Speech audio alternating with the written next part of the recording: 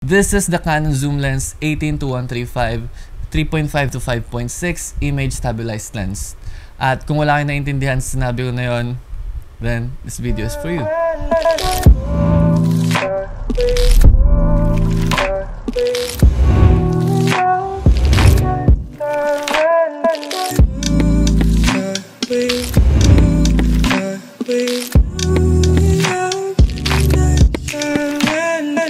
Hi, ako po si American Last at welcome back to this channel. Kung baguhan pa lang sa filmmaking or sa photography, dapat malaman nyo ngayon pa lang na kahit gaano kaganda yung camera body natin, pag namali tayo ng pili ng lenses, it will totally ruin everything. Kasi ito yung unang-unang makaka-capture ng image mo. Dito nakadepende ang malaking percentage ng output mo. So on today's video, as much as possible, share ko sa inyo yung knowledge ko sa lens. At yung sinabi ko sa inyo kanina by the start of this video, i-breakdown natin yon. So ang hawak ko ngayon ay ang Canon zoom lens EFS 18 to 135 3.5 to 5.6 image stabilized lens. So makikita nyo dito sa harap. So isa-isahin natin yung mga sinabi ko na yun and hopefully by the end of this video mabasa nyo na rin ang lens na hawak nyo o yung binabalak.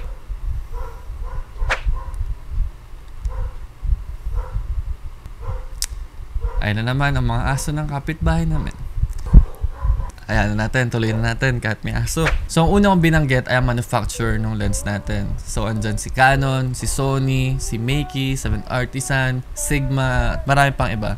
Napakahalaga ng brand sa ating lens. Kasi dito nakadepende yung desisyon natin. Ano ba yung reputasyon niya sa mga users o sa market. And gusto ko hatiin yung brand natin by two categories. So either native or third party lens. As you know, meron mga camera manufacturers na nagpo-produce din ng sarili nilang lens. Kagaya ng Canon, meron silang camera body at naglalabas din sila ng mga Canon lenses.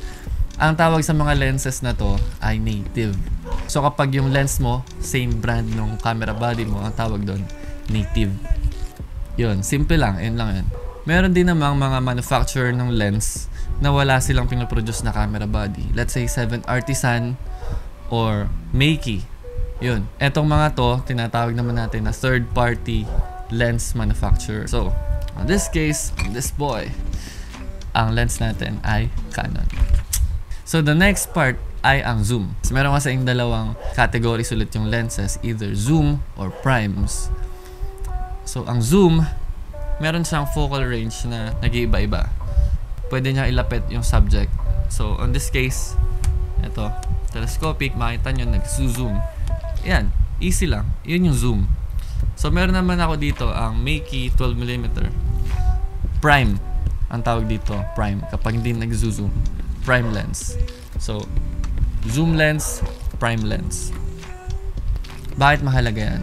Kasi meron tayong kanya-kanyang gamit niyan. Depende sa situation no, kung kailan mo kailangan. Bakit ka naman bibili ng prime lenses? Kasi yun yung iniisip ko dati nung baguhan pa lang ako. And I just realized through experience and sa pag-research din, ang mga prime lenses pala meron siyang reputasyon into bringing sharper images. And also, mas maganda siya sa low light. Kasi kadalasan yung mga prime lenses natin, ito yung mas bukas. Ito yung mas kayang mag-shoot sa gabi.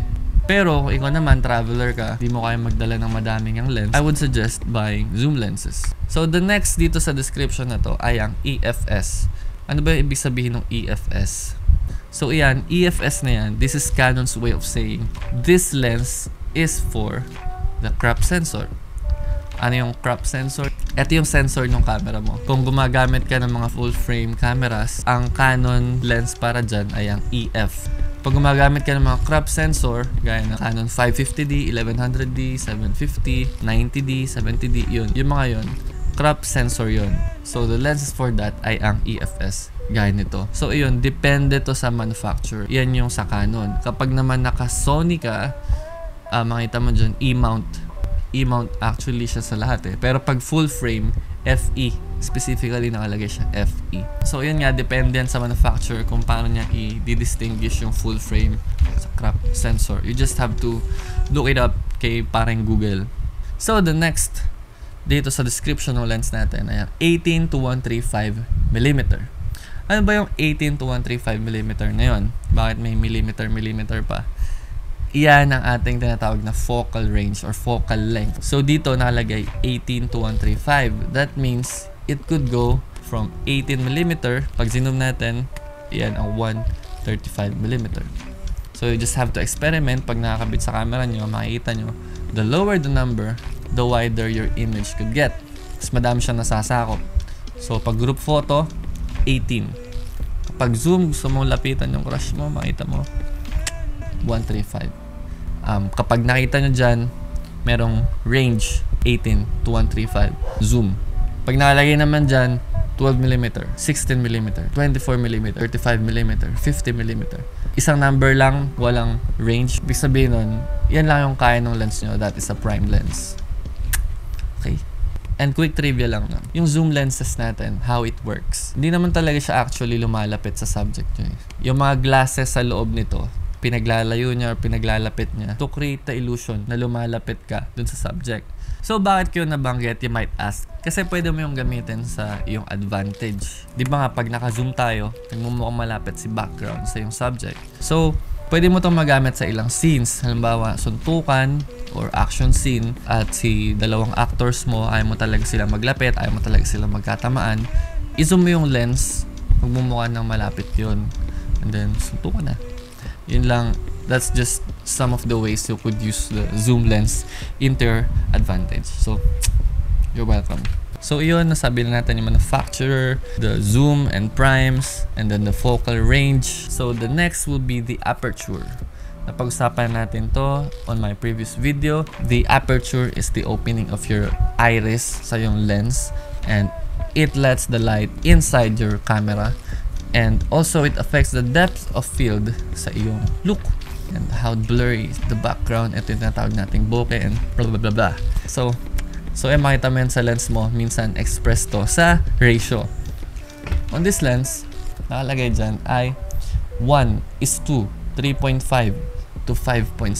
So ano bang ibig sabihin nun? Um, that says that this lens has a variable aperture. Kasi meron tayong dalawang types ng aperture sa lenses. Meron dyang fixed and variable aperture. Ito, ibig sabihin nito kapag naka 18mm tayo, ang lowest aperture na mapupuntahan natin ay f3.5. Kapag naman naka 135mm tayo, sagad, zoom, sagad na sagad, ang lowest aperture na mapupuntahan natin ay 5.6. Usually, yan yung mga kit lens, mga mid-range lens. Usually, yan yung mga variable aperture talaga. Pero yung mga higher end lenses, usually yan yung mga fixed aperture na kahit naka-zoom ka na, you could go as low as 2.8 or f4, ganun. Napakasarap gamitin ng mga ganong lens. Talagang kahit naka-zoom ka na, hindi mo na kailangan i-adjust yung exposure mo. ba? Kasi, ba, naka f2.8 ka, kahit naka 17 ka. Pag nag-zoom ka into 50mm, 2.8 ka pa din. Wow, sarap nun. Kasi exposure mo ganun pa din, 'di ba? Wow, sarap nun. So, yun, mahalaga yun. Tingnan mo din yun. In this case, this is a variable aperture lens. Alam mo na yung manufacturer, zoom and primes, sensor, focal range. Alam mo na din yung aperture. Konti na Dali lang, diba? Madali lang. Madali lang intindihin yung mga lenses. Kung medyo nabibilisan ka, you could replay this video. And think panoorin mo mabuti. Pag-aralan mo, okay lang ulit-ulitan yan. Insekto. So, dito makita nyo, meron pang IS sa dulo. So, that means this is image stabilized. Dito makita nyo, meron dyang, meron dyang button which activates or deactivates your image stabilization. So, ito more on to modern lenses to. Meron niyang magic sa loob. Electronics yan uh, gyroscopes, computations, electronics devices, kinamberlu na nagpapastabilize ng mga footage nyo. Ito, napakahalaga nito. Napakalaking tulong nito. Lalo kung shaky-shaky hands ka. Although shaky pa din, pero shake na hindi nakakahilo. Alam nyo yun. Sarap pa rin panoorin. Medyo cinematic pa din yung alog na. 'di ba? So, yun lang, ganun-ganun lang nabasa natin yung napakahabang description ng lens na to. At naintindihan natin. Hopefully, naintindihan nyo din. Dapat yata ito inuna ko. Kasi meron pa ulit two types of lenses. Yan, either auto or manual. Ito, yung lens na pinag-usapan natin, auto yan. Automatic. Ibig sabihin, meron to mga electronics, ano, meron yung mga electronics, and makita niyo mga gold parts na yan. That means the lens could communicate to your camera body. Pero meron din namang mga manual lens. Etong manual lens, makita nyo, wala siyang electronics, 'di ba? So, that means kaya nga manual, ibig sabihin yan, lahat ng controls nandito. Gagalawin mo yan by the use of your magical hands. Diyan yung electronics nun sa kamay mo. so, yun, nabasa na natin ang mahabang description ng lens na to. It's a Canon zoom lens EFS 18 to 135mm 3.5 to 5.6 image stabilized lens. So ito yung lens na napili ko na pag-usapan natin today kasi almost complete. I think na pag ito yung pinag-usapan natin description ng lens ay ma-share ko sa inyo halos lahat. So hopefully naging helpful naman yun. At kung meron kayong part na nabilisan, balikan nyo na lang. Andyan naman yan. Ulit-ulitin nyo hanggat sa ma-absorb nyo every single thing out of it. And sana susunod na mag-isip kayo about lenses, ma-consider nyo itong mga pinag-usapan natin dito. And kung meron kayong hawak na lens ngayon at di nyo pa siya ganun kakilala, sana mas maintindihan nyo na siya. Kasi, yun yung susi sa mahabang pagsamahan, yung pag-iintindihan. Anyway, anyways, after everything that's been said dito sa video na to, ano ba yung i-recommend ko para sa inyo? Um, wala akong specific lens na i-suggest sa inyo. Pero siguro overall guide lang. If you're a beginner, mag-start ka sa kit lens. Meron dyan para mga upgraded kit lens. And usually mga zoom lenses yan.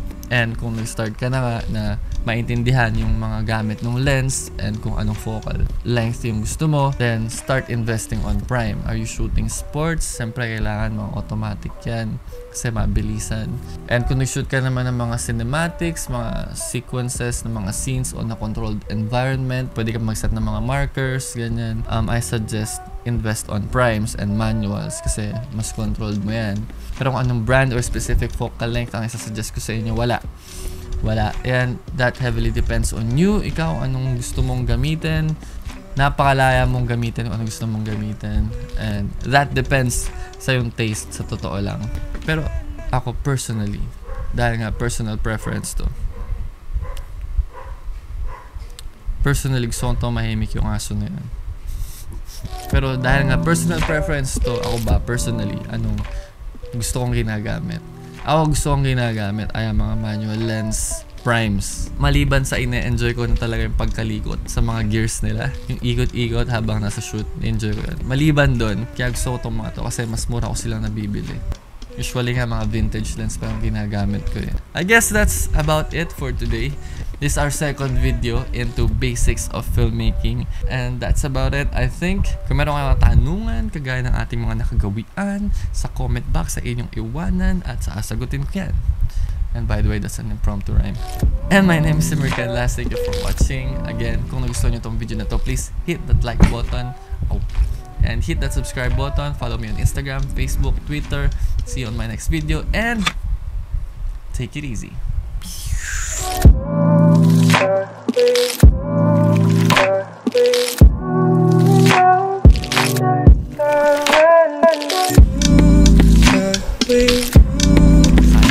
Bye.